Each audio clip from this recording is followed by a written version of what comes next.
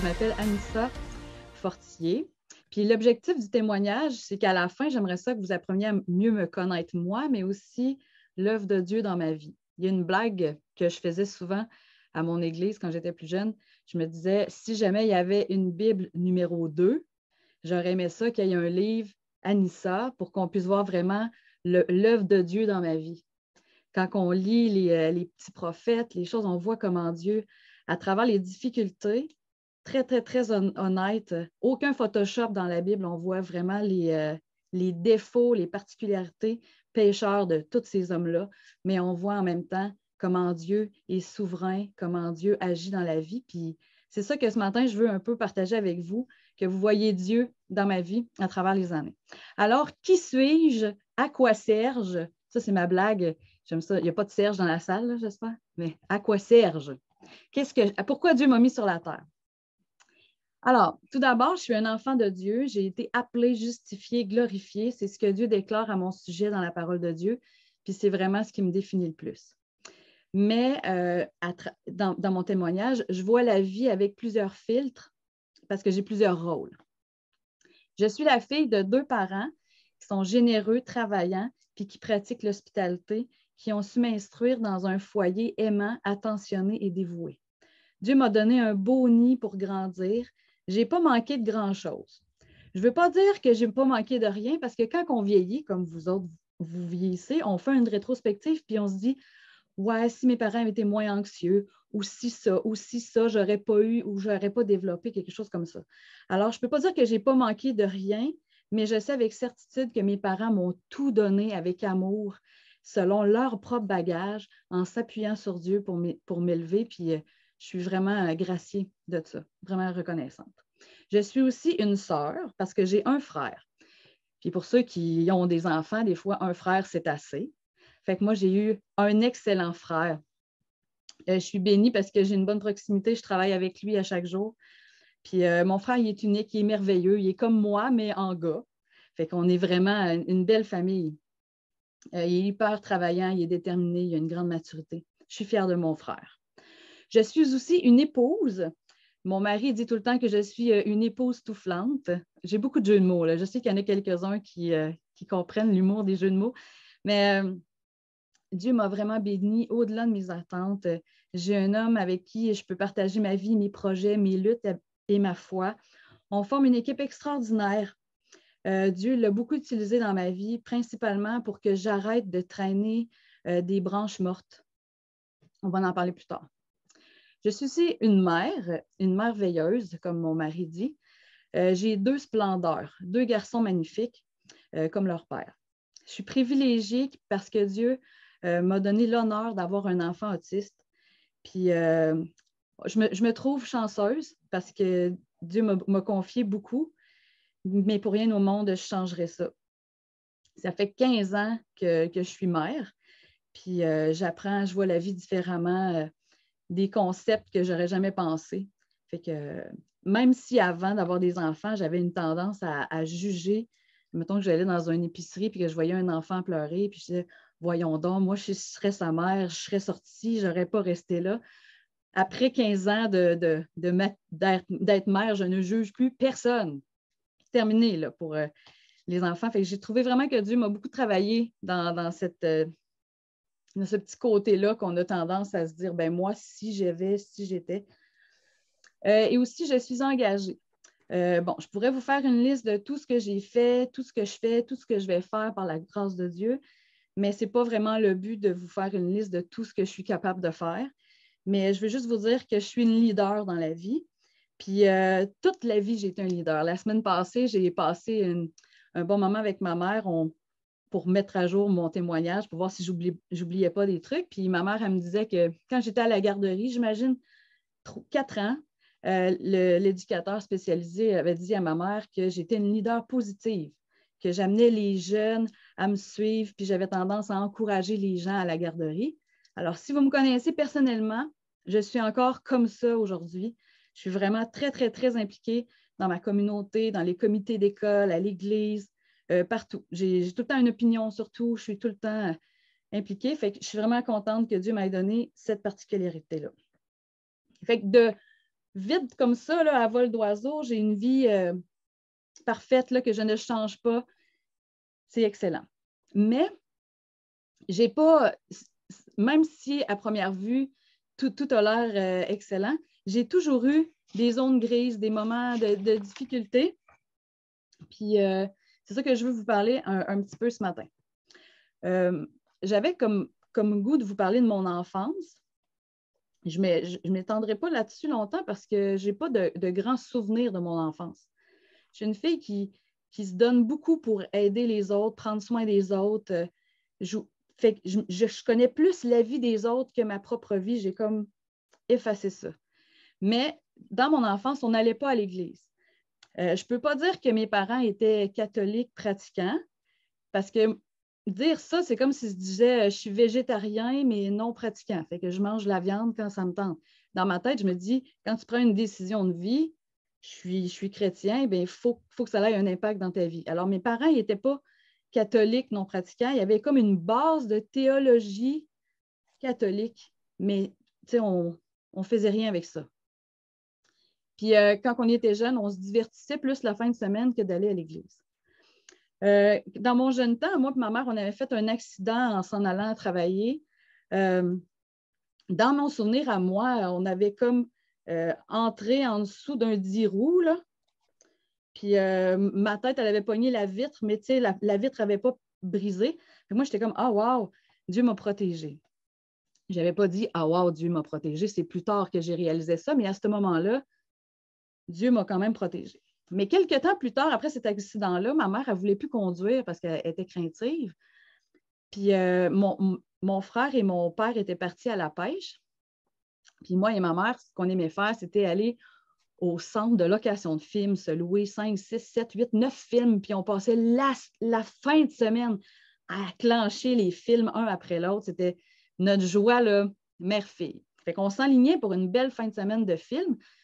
Puis une voisine dans la rue, elle nous avait dit euh, il y a un film justement à l'église samedi si ça vous tente de venir. Fait qu'on est allé en se disant Waouh, un film qu'on n'a pas besoin de louer et qu'on va aller voir avec d'autres personnes. Fait qu'on s'est présenté là. C'était un, film, euh, là, c'est là que ma mémoire joue des tours, là, mais de mémoire, c'est comme un film de Billy Graham. Ma mère disait que ça parlait de la création, de, de la nature, de la splendeur du Créateur. Puis à la fin, moi, ce que je me souviens, c'est qu'il y avait euh, l'analogie de, les pas dans le sable. Je ne sais pas si vous connaissez un peu euh, les pas dans le sable. Je vais le dire quand même pour les gens qui ne peuvent pas le, savoir, mais c'est comme si un homme qui est mort se retrouve au ciel, il regarde sa vie comme sur une plage, il y a tout le temps deux, traces de pas. Fait que tout va bien. Mais à un moment donné, en, scrutant plus la, la plage, l'homme se rend compte que des fois, il y a juste une trace de pas. Fait que là, il pose la question à Dieu T'étais où? Comment ça? Dans les moments difficiles, il y a juste une trace de pas. Mais là, c'est là que Dieu le regarde et lui dit Quand c'était difficile, c'est moi qui te prie, c'est moi qui te portais. Fait c'est normal qu'il y ait juste une trace de pas, tes pieds ne touchaient plus par terre. Puis moi, avec la, la mentalité simple d'un enfant de 7-8 ans, j'ai fait Wow! Mon accident il y a quelques semaines, c'est Dieu qui m'a pris. C'est Dieu qui m'a sauvé. C'est Dieu. Fait que moi, là, j'ai fait Wow! Imaginez quelqu'un qui, dans la vraie vie, vraie, vraie vie, vous sauve, vous, empêche une catastrophe. Vous êtes reconnaissant des années et des années. Alors, moi, j'ai fait OK, OK, il faut que je connaisse cette personne-là qui m'a rescapé. Fait que je dis à ma mère Maman, je veux retourner à l'église. Mais là, wow, wow, wow. Comment ça, retourner à l'église? On est allé une fois le samedi, je ne te laisserai pas aller tout seul à l'église euh, demain matin ou l'autre dimanche. Une, vraie bonne mère. Elle a dit Je vais y aller avec toi. Hein, on va y aller ensemble. je ne te laisserai pas y aller, certain. Fait que ma mère puis moi, on a commencé à aller à l'église. J'ai beaucoup aimé euh, l'école du dimanche à l'époque. Puis euh, fait que là, j'ai dit à mon frère, il faut que tu viennes toi aussi, c'est vraiment cool, c'est vraiment cool. Mais là, mon père, parce que là, ma mère, elle conduisait plus à cause euh, du stress dû à l'accident. Que mon père venait nous, euh, reconduire à l'église, puis euh, il faisait du CB. Peut-être que vous savez, c'est quoi le genre de radio que tu mets dans, dans ton auto, puis là, tu parles avec du monde. Fait que mon père, il passait tout, tout le long de, du message dans l'auto en attendant qu'on revienne de sortir de l'Église. J'ai fait ça peut-être pendant presque un an, six mois, un an, que mon père restait dans l'auto. Puis le pasteur sortait de l'église, venait s'accoter sur la fenêtre de l'auto, puis dire Tu sais, tu peux, tu peux rentrer. dans l'église, ça ne dérange, ça dérange personne. Fait qu'avec euh, plusieurs temps, mon père a, décidé de rentrer dans l'église. Puis euh, c'est comme ça que ma famille, on a été exposés à, Dieu pour la première fois. Fait que c'était, il euh, faut que je compte les années, là. Ça devait être en 86-87. Moi aussi, je, suis née dans les années 70, hein? Que je, suis vieille. Ben, je suis la même âge que bien ben de, vos enfants, je pense. Mais c'est ça. Comme j'avais écrit dans, le petit paragraphe d'invitation, rencontrer Dieu quand on est jeune, euh, c'est plaisant parce que ça nous empêche de faire des mauvais choix, beaucoup de mauvais choix. Mais ce que je trouve quand même euh, difficile, c'est que je n'ai pas eu à faire un changement de vie drastique. Quand tu as 7 ans, tu n'es pas dans une gang de BMX ou tu n'as pas de mauvaise fréquentation, tu n'as pas fait des choix que tu dois dire Oh, OK, il faut vraiment que je change quelque chose, j'ai des choses à abandonner. là, là, mon cœur a changé, j'ai rencontré Dieu, mais dans vie, je fais, je fais quoi? Fait que j'ai eu beaucoup de doutes, beaucoup de flou en me disant Je suis-tu vraiment chrétienne? J'ai-tu vraiment changé mon cœur? J'ai-tu. J'ai eu des flous? Puis euh, je trouve ça triste parce qu'avec le recul, je me dis j'aurais aimé ça plus jeune, euh, connaître une promesse de Dieu par cœur ou un, passage dans la Bible que j'aurais pu me répéter pour me dire non, tu es, sauvé, tu n'as pas à avoir une crainte. Puis euh, c'est ça, fait que j'ai navigué pendant plusieurs années dans un flou. À toutes les fois qu'à l'école du dimanche, on disait on va faire une prière de repentance. Là, je la faisais parce que je vais être sûre, je vais être sûre, je vais être sûre. En tout cas, j'ai fait euh, peut-être 365 prières de repentance. Ça n'a pas fait que je suis extraordinaire, mais euh, j'ai vraiment rencontré Dieu puis changé ma vie vers 7-8 ans. Euh, puis c'est ça. Ce que j'ai trouvé difficile aussi, c'est que selon mon angle de vue, j'avais une vie saine.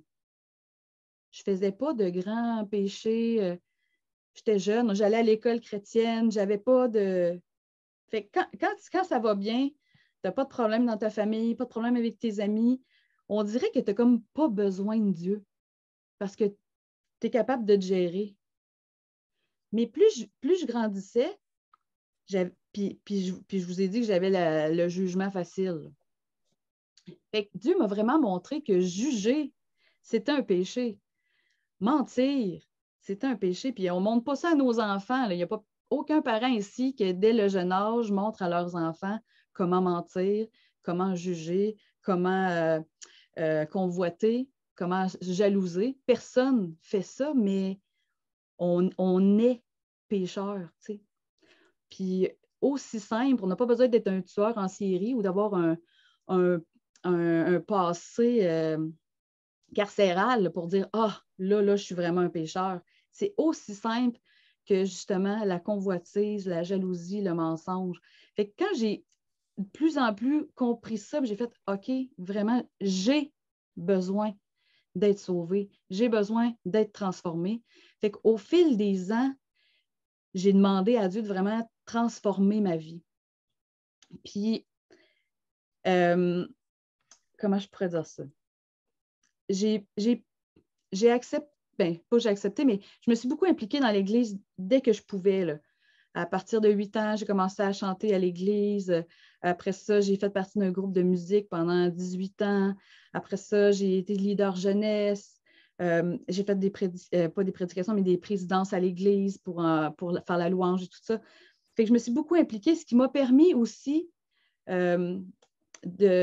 comme Michel il disait avant, plus tu t'entoures de gens qui t'influencent positivement à suivre Dieu, plus c'était facile de ne pas me laisser distraire. Fait que je remercie, je, remercie Dieu pour justement cette, euh, cette famille d'Église qui m'a permis d'avoir. Puis, tu sais, la famille d'Église, c'est facile à vivre. Je dis ça parce que dans la Bible, ça dit aimez-vous les uns les autres. Les uns, c'est plus facile, c'est les autres qui sont plus difficiles à aimer. Mais La Bible dit c'est à l'amour qu'on a les uns pour les autres que Dieu voit qu'on est des disciples. Puis c'est ça que j'ai pu expérimenter. Oui, on, est, on, a tous été blessés par des gens euh, dans, les églises, par des commentaires, par des attitudes, des choses, mais j'ai appris avec le temps à voir Dieu à l'œuvre là-dedans, à pardonner, à aimer par-dessus tout. Puis ça m'a vraiment fait grandir.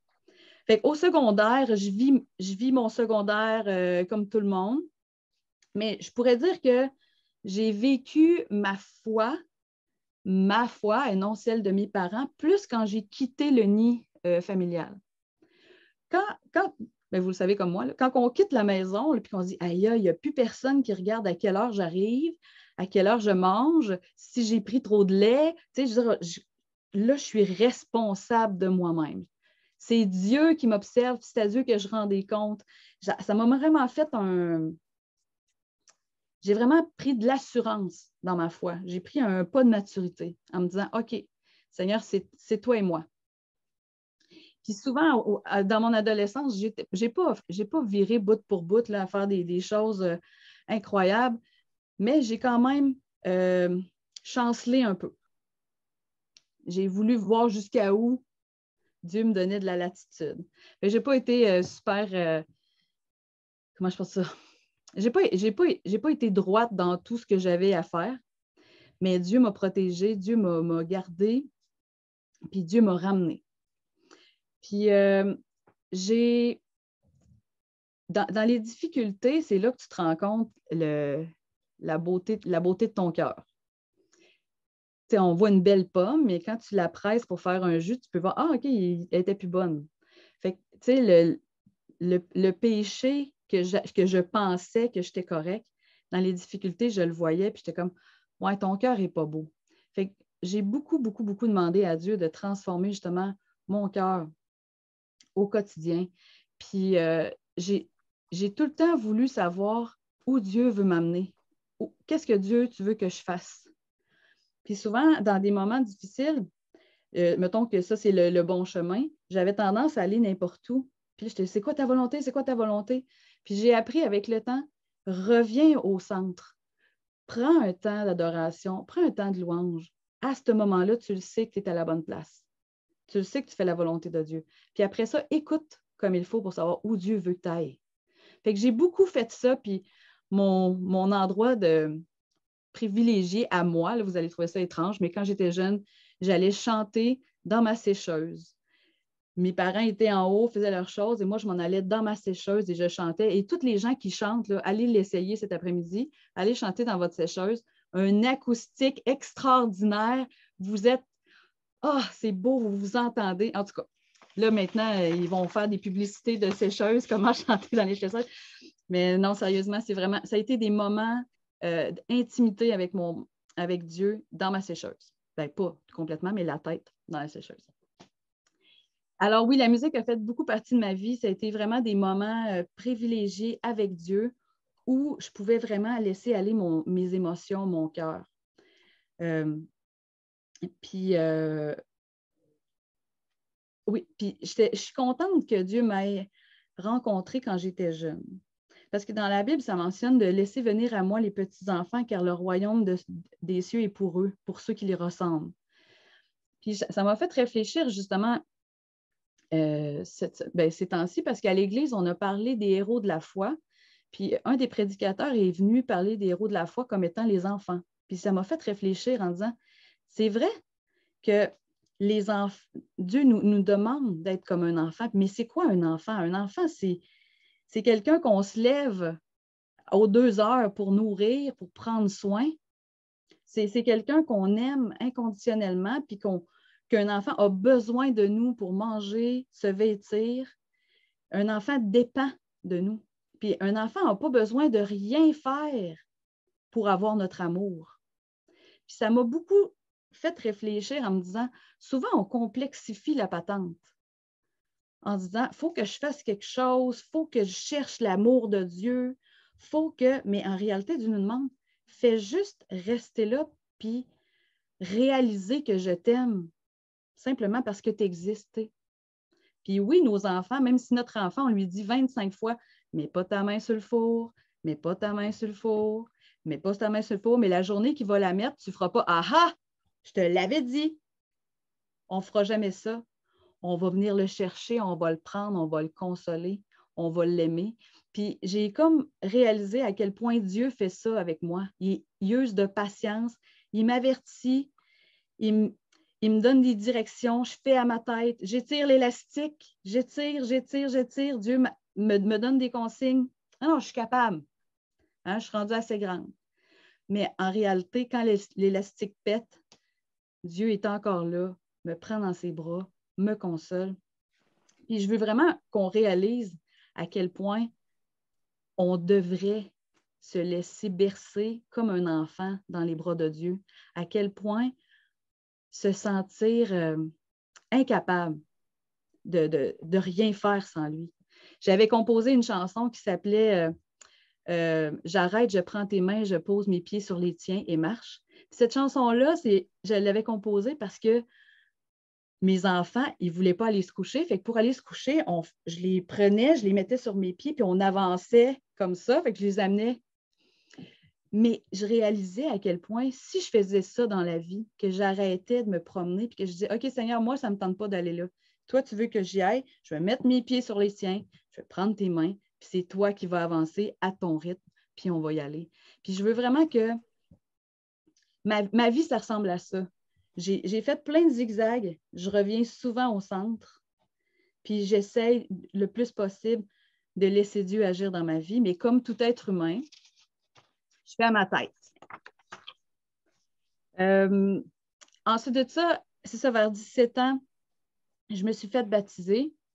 Puis euh, j'ai commencé euh, à, travailler chez Anafarm pendant une dizaine d'années. Euh, j'ai rencontré plein de gens. Euh, comme je vous ai dit, j'étais à, l'école chrétienne, fait que j'étais vraiment restreint dans ce que j'ai été exposée dans ma vie. Et quand je suis arrivée dans le, pas dans le monde, mais au milieu du travail, au cégep, j'ai fait Oh, OK, il y a des choses de plus là, que, que je ne connaissais pas. Euh, mes premières personnes avec les cheveux de couleur, les piercings, les tatous, j'avais rien vu de tout ça. fait que j'ai été Wouh! J'ai fait un saut, puis comme je vous ai dit, j'avais tendance à, juger les gens. Fait que Dieu m'a beaucoup, beaucoup travaillé en me disant Hey, tu es égal à eux. À mes yeux, tu es pécheur égal à eux. Tu as autant besoin de moi que eux ont besoin de moi.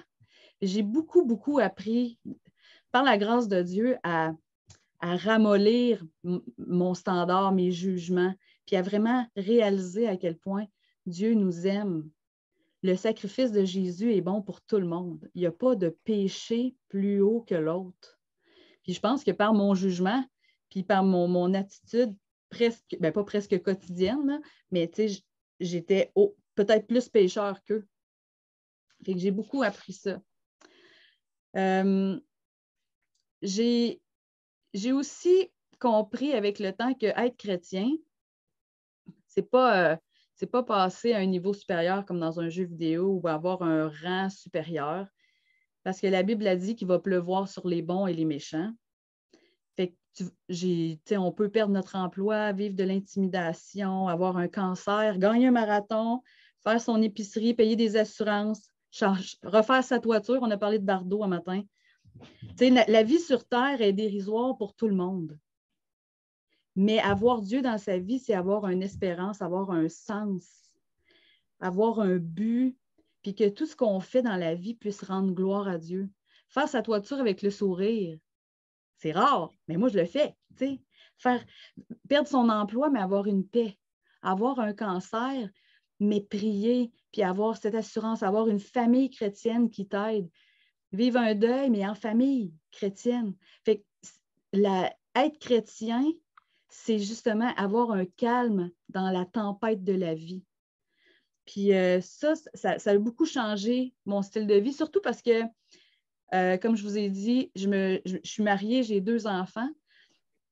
je ne vais pas vous raconter tout en détail, mais moi, mon mari, on a vécu un problème financier. Mon mari, euh, ben, il travaillait, mais il n'était pas payé pendant deux ans, fait qu'on s'est accumulé des dettes. J'ai un enfant autiste, mais je vous laisse Imaginez la totalité des, des problématiques qu'on a pu avoir. Juste pour vous donner une parenthèse, la première semaine d'école que mon fils a commencé, euh, en cinq jours, il avait coupé les cheveux d'un ami, il en avait poussé un autre dans la salle de bain, puis il avait euh, comme euh, fait saigner le nez de quelqu'un à terre sur le, béton. Ça, c'était la première semaine.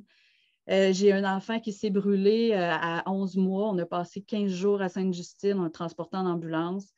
J'ai eu, mes parents ont eu chacun un cancer. On, a vraiment vécu plein de choses quand même, comme, tout le monde. On a vécu aussi de la mortalité dans nos familles, euh, mais j'ai aussi eu Dieu qui a pourvu à un mari extraordinaire. J'ai aussi Dieu qui a aidé à avoir des services pour mes enfants. Dieu a été présent, actif, intentionnel dans ma vie. Puis euh, c'est extraordinaire parce que justement, dans ces situations-là où l'impossible devient possible parce que Dieu a un plan gracié là-dedans. Puis, euh, c'est ça, je pourrais vous raconter des heures et des heures et des heures de, trucs extraordinaires que Dieu a fait. Puis, il fait encore aujourd'hui. Puis, euh, c'est ça. Je peux, pas vivre, peux pas vivre autre chose que, que, vivre la, joie d'être avec Dieu. Puis aujourd'hui, ce que je fais, c'est que je travaille dans une imprimerie, un travail très, très de base. Mais pas de base, c'est impressionnant de travailler dans une imprimerie. Mais je veux dire, je fais un, un travail pour vivre, mais je vis pour Dieu. Je, chantonne, je, siffle, je, suis heureuse. Puis, euh, depuis cinq ans, j'ai commencé à composer de la musique. Dieu me montre euh, dans les dernières années euh, des choses extraordinaires dans, sa parole. Puis, je ne peux pas garder ça pour moi. Puis, je compose de la musique pour justement permettre aux gens de vivre aussi cette richesse-là de la parole de Dieu. Puis, c'est ça, on va, en parler plus tard, on va vous faire entendre une de mes compositions. Mais avant, ce que je trouvais intéressant, j'expliquais ça à mes enfants. Il y a une chanson qui s'appelle Jésus est mon super-héros. Puis, dans, mes, enfants aiment beaucoup Marvel et tous les Capitaines America. Je ne sais pas s'il y en a des spécialistes en, en super-héros. Moi, non, mais ma famille, oui. Puis j'étais là, réaliser que Jésus est notre super-héros, puis réaliser que juste au nom, au son du nom de Jésus, l'ennemi tremble. Imaginez-vous la puissance de ce super-héros. Puis, je ne veux pas, je euh, euh, la fin de l'histoire, mais on sait déjà que notre super-héros gagne. On sait déjà que Jésus gagne. On sait aussi que dans la Bible, Jésus nous dit qu'il va revenir chercher son Église, puis qu'on va aller passer l'éternité dans des nouveaux cieux ensemble. Puis je trouve ça extraordinaire parce que présentement sur la terre, ce qu'on vit, c'est une période d'attente où le méchant, les, les, mauvais, essaient de faire périr la terre, essaient d'avoir le plus de gens de leur côté, alors que Dieu, par sa parole, par sa puissance, avec la création, parce que Dieu nous parle dans sa création, avec l'Église qui étend ses mains pour aider, aimer, encourager, évangéliser, il veut apporter les gens à une délivrance, à réaliser que l'emprise du mal qui coule dans nos veines, qui puisse, puisse être libéré de ça. C'est simple, dans un film, on voit tout le temps arriver les passes, puis on se dit euh, Ah ouais, c'est ça qui va arriver. Mais c'est aussi simple que ça. Tu n'as pas besoin pour, être du bon côté, tu n'as pas besoin de, suivre Jésus sur Instagram ou, euh, Facebook ou faire un rituel quelconque ou de parler à Marie ou n'importe quel saint ou peu importe. Tu as à t'asseoir avec Dieu puis demander avec humilité Hey, je ne serai jamais capable de me sauver moi-même, je ne serai jamais capable de sauver les gens. Je ne peux rien sans toi je peux rien sans toi parce que je suis née du mauvais côté. Je suis née dans, le pays où le mal m'a rongé dès mon enfance. Puis de reconnaître que Jésus est capable de te sortir de ce ghetto-là pour t'amener à, changer de vie, à te couvrir, puis te dire maintenant, tu es avec moi. On va combattre ensemble. On va combattre ensemble parce que la vie chrétienne, ce n'est pas, pas facile. Mais ce n'est pas plus difficile que de vivre ta vie normale non plus, on s'entend? C'est pas facile, mais c'est un privilège parce qu'on n'est jamais seul. Comme je vous ai dit tantôt, les traces de pas, Jésus est toujours là avec nous dans toutes les difficultés, autant au sommet de la montagne que dans le creux de la montagne. Jésus ne change pas. Dieu ne change pas. C'est vraiment une chose que, que je souhaite que tout le monde puisse vivre. Parce qu'à partir du moment que tu rencontres Christ, tu ne peux plus être la même personne.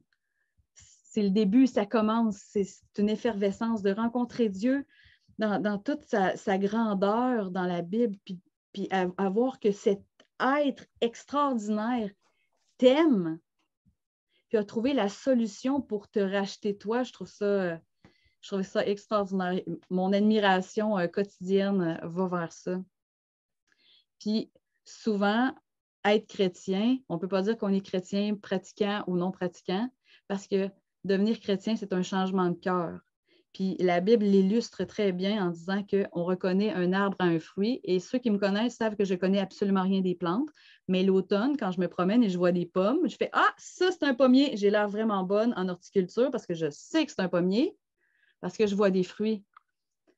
Mais je veux vraiment que dans notre vie, on puisse être des chrétiens pour que les gens, quand ils nous regardent, disent Ah, elle, c'est une chrétienne parce qu'elle porte des fruits, parce qu'on voit Dieu dans sa vie, on voit Jésus en action, on voit qu'elle aime. Puis c'est ça que je veux être, puis c'est ce que je veux qu'on soit tous. Un, chrétien qui donne une, saveur, qui, qui, qui, euh, change, qui c'est ça qu'on soit le sel, la lumière de la terre. Puis je suis, je suis reconnaissante parce que oui, depuis que j'ai sept ans, j'ai rencontré Dieu, mais ma connaissance de Dieu était tellement minime il y a sept ans, puis maintenant, presque 35 ans plus tard, wow, je, découvre Dieu. Il n'y a jamais une journée où je ne suis pas émerveillée par ce sacrifice, par cet amour, par cette richesse qu'on peut avoir. Puis je sais que plusieurs ici, vous la vivez, cette richesse-là, et on changerait notre vie pour rien au monde. Puis comme, euh, je pense que c'est M. Mario qui va mettre la chanson, mais la chanson que je vais vous faire entendre, ça s'appelle À tes pieds. C'est une chanson que j'ai composée après avoir passé tout un repas avec des gens de mon Église à réaliser à quel point on est privilégié d'avoir accès à Dieu. Privilégié de ne pas avoir à faire de simagrée, peu importe, pour, pour pouvoir parler à notre Père. Le voile est déchiré, on a accès. Puis euh, que, que la chanson que vous allez entendre puisse vraiment vous bénir, puis euh, que, vous preniez ce privilège-là de, vous approcher de Dieu vous aussi.